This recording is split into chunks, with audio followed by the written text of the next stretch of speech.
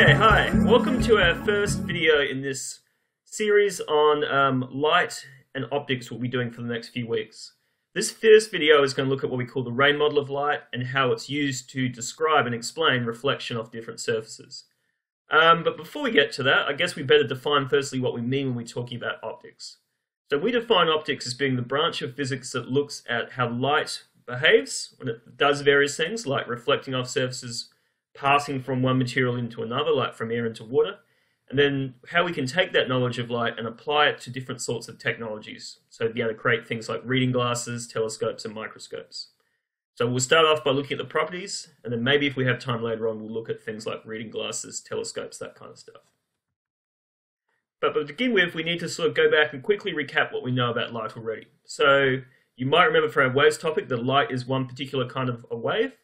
Light specifically is a transverse wave and it moves at its own unique speed, which we call the speed of light. And we use very often in physics, so we always give it its own symbol, lowercase c.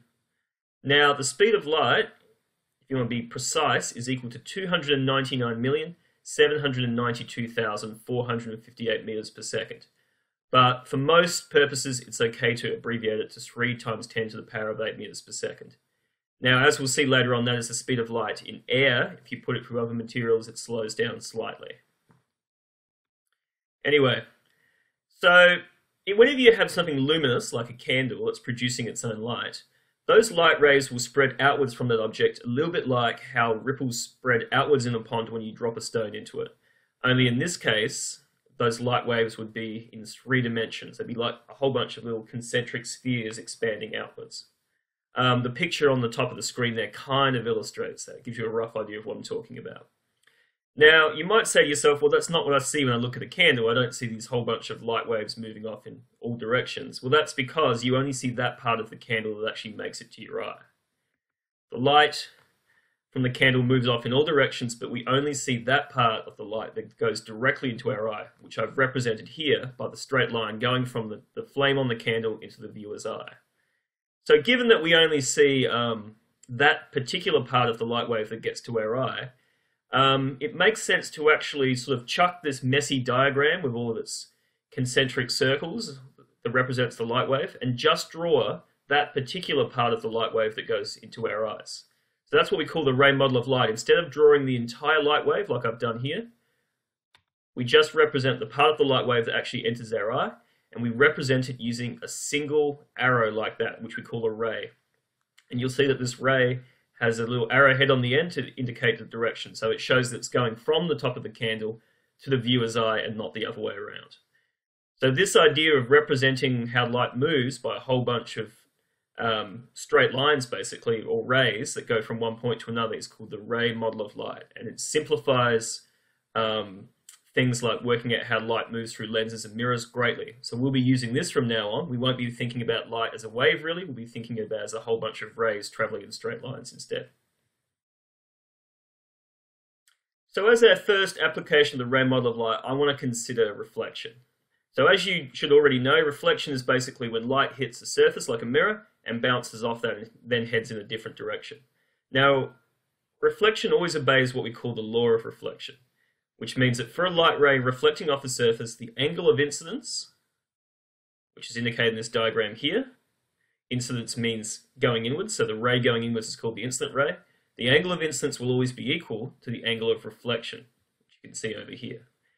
Now these two angles are always measured around this imaginary line called the normal. It's indicated by this dotted line here. So the normal is like a line that comes out of the surface, like a mirror, at 90 degrees to the surface. So here's the surface here.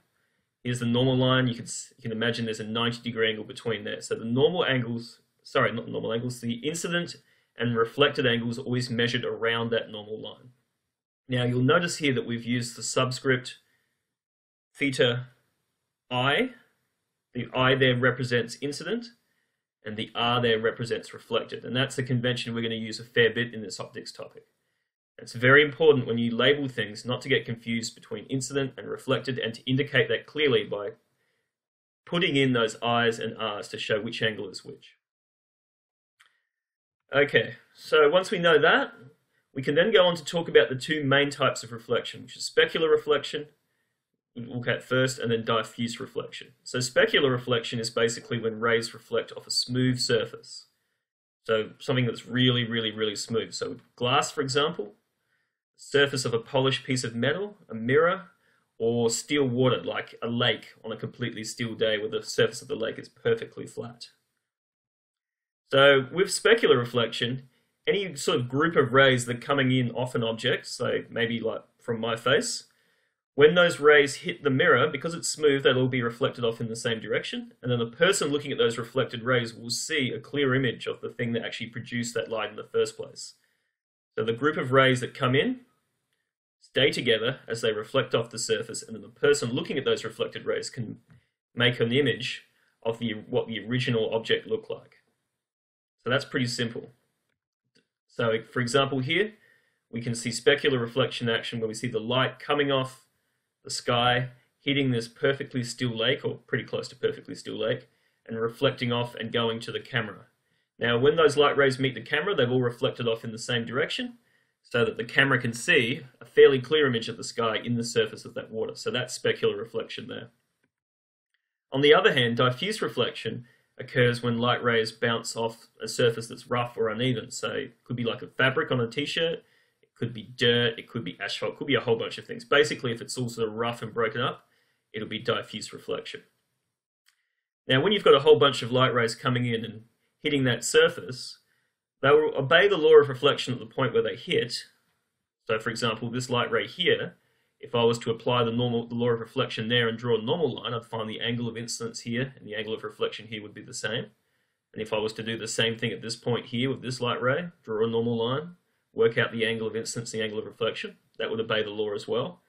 But the normal point, because the surface is uneven and because the normal point is always at 90 degrees to the surface, um, it's going to be different at each point, which means that the light rays will be reflected off in a whole bunch of different directions.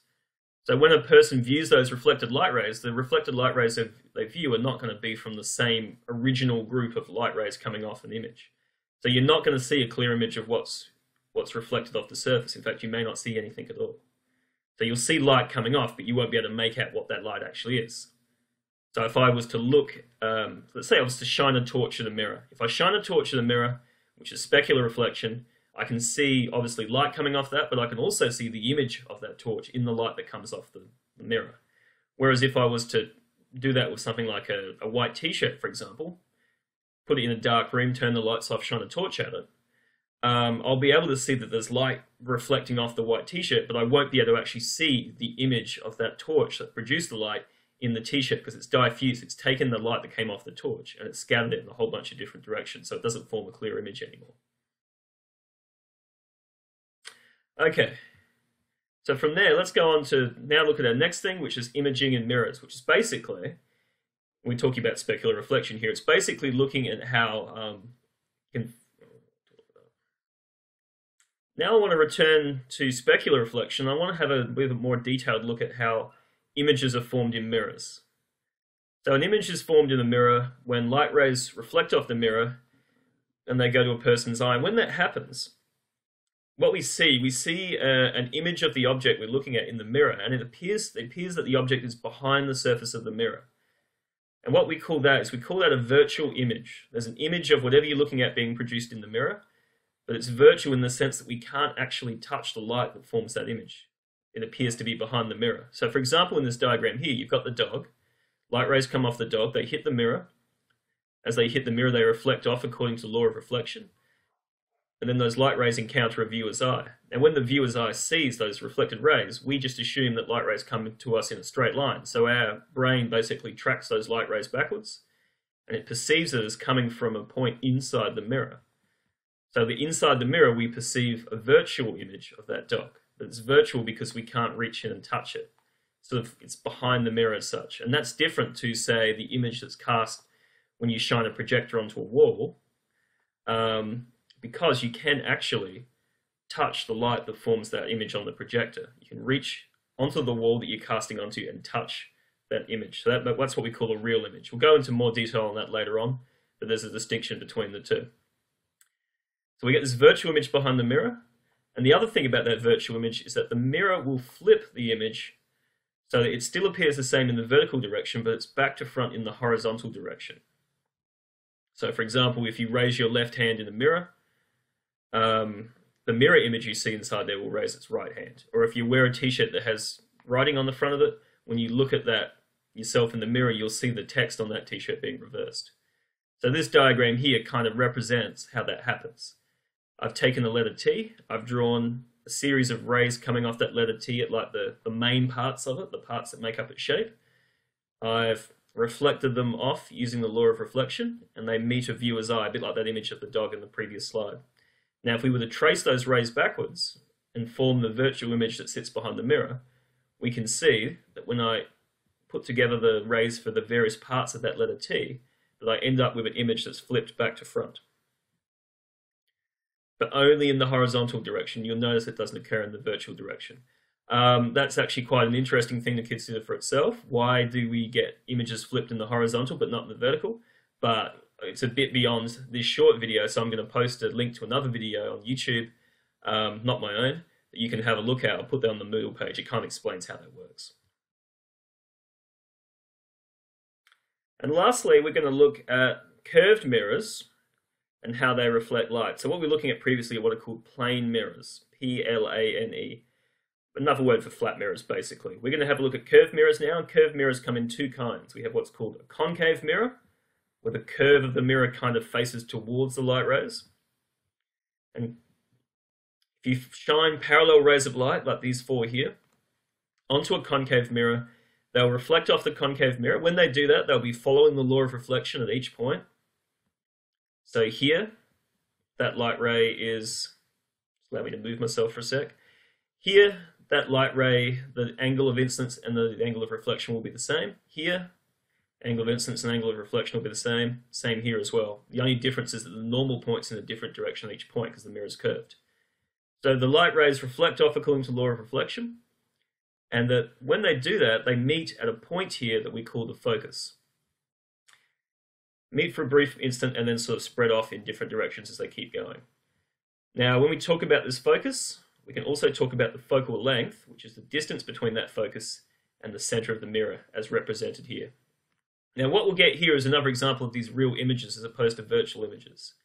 So that point there, where the, the light meets, I can put my finger there and touch that light. It's a real image. It's not a virtual image that appears behind the mirror like we had before.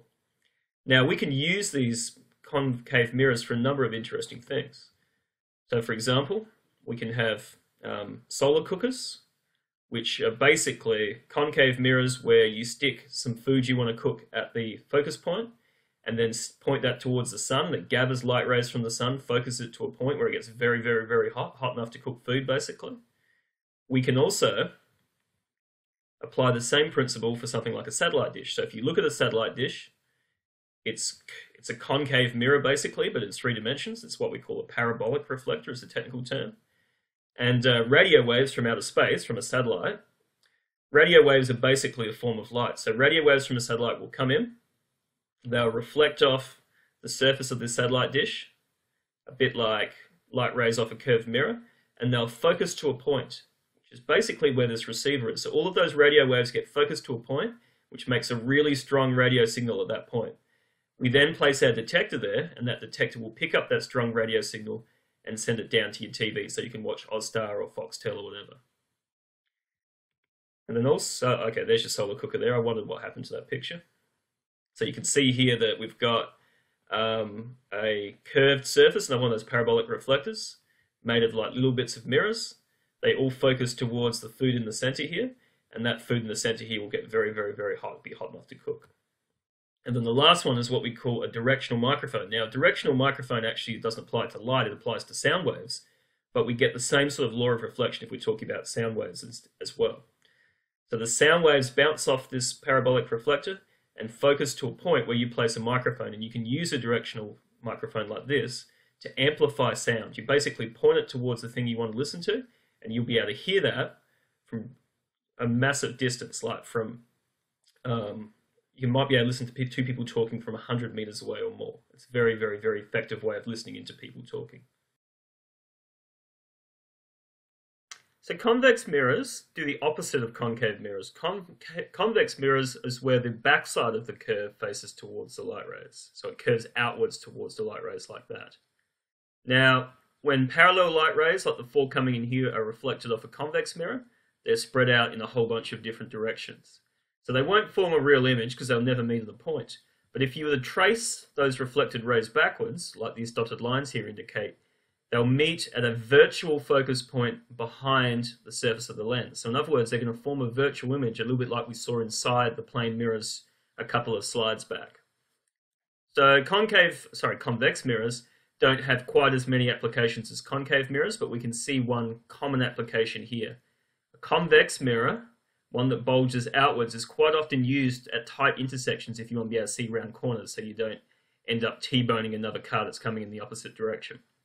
So that's one common application of convex mirrors. You might also sometimes see them stuck onto the little tiny ones stuck onto the corner of car mirrors so you can see a little bit around the blind spot in the back of your car. Quite useful.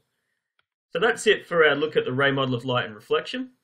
Um, next time we're going to go on to look at refraction of light, which is when light passes from one material into another, say from air into glass or from air into water, that kind of thing. So please make sure you've made a note of any difficulties you had or anything you want to discuss in class next time. And uh, other than that, I'll see you in class uh, on Friday. Okay, I'm out.